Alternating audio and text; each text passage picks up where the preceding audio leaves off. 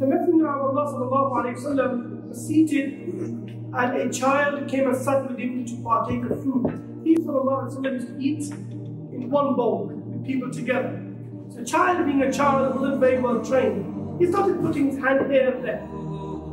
Not showing good etiquette. Rasulullah being the most gentle of people. Wasallam. Look at the discipline that Tarbiyah taught him. He said to him, Ya Ghula. It's a nice way of saying, oh nice boy, young boy.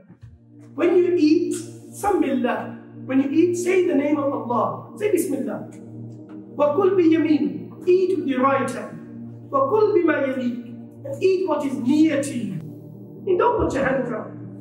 So I'd like you to, I'm sure you all do, eat Bismillah before you eat. Eat with your right. Eat with what's near. And if you do all that anyway, the point I'd like to express is try to eat with other people. Share your plate and see the love of Allah Ta'ala spreads between you.